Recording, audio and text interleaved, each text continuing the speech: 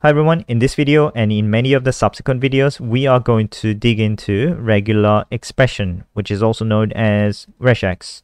Regex is a very powerful function which allows you to parse strings of texts in ways that are otherwise very cumbersome to do if you were to use the standard AutoHotkey text parsing functions.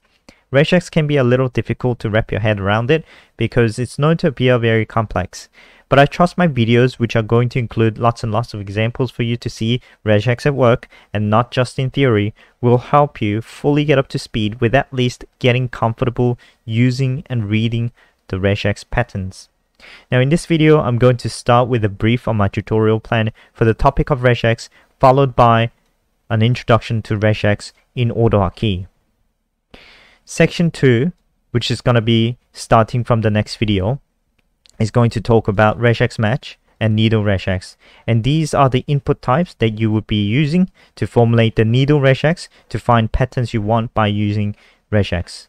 There are going to be quite a few videos in this topic with examples within various aspects of these input types. So this is going to be a quite an extensive series. Section 3 will talk about regex replace and examples of it and also some other useful features of regex replace including counting the number of occurrences of matches and using back references. Section 4 is going to have more of the real life examples using regex match and regex replaces including extraction of particular information from a website or extracting email addresses and URLs from a random and unstructured dataset, and also using match object of regex. And then the regex tutorial will be wrapped up with learning how to use the regex tester, which is a tool created by somebody, which is basically a GUI that helps you quickly find the regex matches and perform regex replaces and see the result in action. Okay, so moving on to the first section, which is the regex introduction in AutoHotkey. Now, so regex is a sequence of characters, for example, A to Z or 1 to 9, that specifies a search pattern. For example, all letters from A to Z and all numbers from 1 to 9. Now this search pattern becomes the needle to search for in a haystack, which is the string you're going to provide into regex. Regex can either just find the patterns, in which case it's going to be regex match, or find and replace the patterns in the haystack, which is going to be the regex replace. Regex is more flexible and powerful than the standard text parsing commands and functions within AutoHotkey. However, apparently it's slightly slower than them. About this tutorial, you could really spend an infinite amount of time mastering every single aspect of regex. Regex is a very extensive and you can go really deep into this topic and get really fancy with it. Though I personally don't think it's worth spending all the time of your life to explore every single possible thing in regex. There are thousands of different ways you can use regex to achieve almost the same result. For example, all of these five lines will achieve the same result of extracting the number 75. For me, whatever works is usually good enough, and therefore, my tutorial will just cover only what I think are the most important bits, the most useful, most commonly used features of regex instead of everything. Regex syntax in AutoHotkey. AutoHotkey has two regex functions, regex match and regex replace. And these are the parameters that you can provide within the functions. Now what goes into the haystack is the string to perform the search in. What goes into the needle regex is the regex pattern that we're going to extensively learn in the next video and the upcoming videos that you provide to find the matches you want. What goes into replacement within regex replace is the text to replace the matches found, or back references, which is optional, which I'm going to cover in one of the videos in future. Now, so how to use the functions. So to use the regex match function, the regex match function will return the position of the first match in a variable if you assign result of the function into a variable in this manner. So if you have a match on the fifth position within a string, you get a number 5 in variable stored in this way. It will return 0 if no match was found.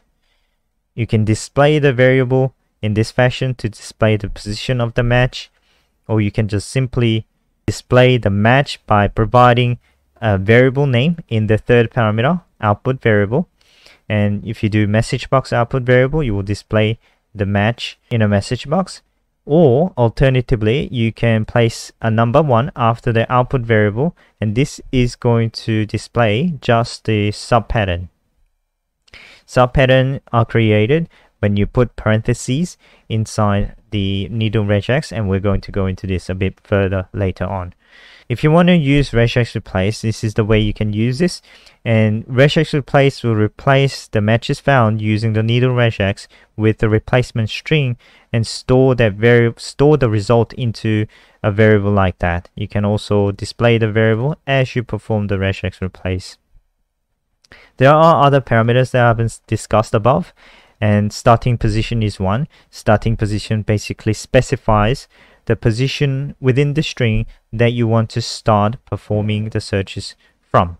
So if you specify a position of 100, it will st start from the 100th character within the string that you provide as a haystack. Output variable count in regex replace stores the number of matches found using the regex replace. So if you found 5 matches using the needle regex within regex replace, it will store the output variable count you can see it here.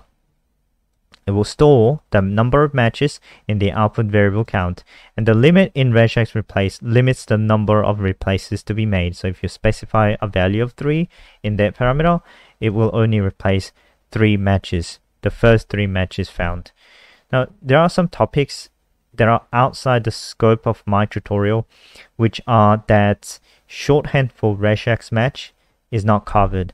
This is basically the way to perform regex match in a shorthand, but I'm not going to use this. I'm going to just stick to the regular way of performing regex match.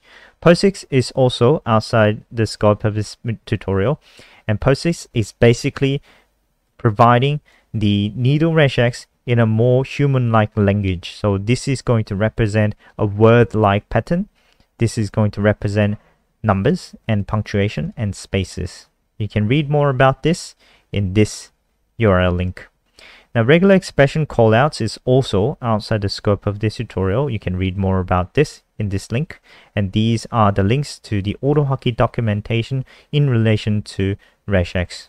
So this is it for today's video and in next video and the upcoming videos we're going to get our hands dirty working on some examples using regex. Thanks for watching and I'll see you in the next video.